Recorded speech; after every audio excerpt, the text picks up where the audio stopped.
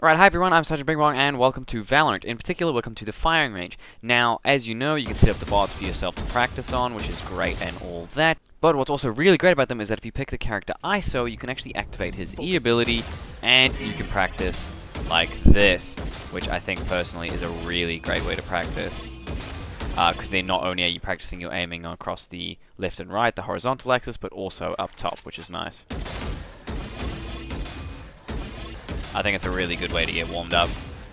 And uh, for any ISO mains, I mean, you can get really good at uh, practicing to, to flick to your orb all the time.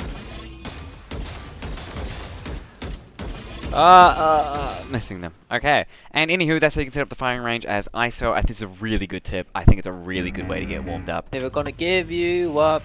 Never gonna say goodbye. Never gonna talk to girls. I like guys. what the fuck?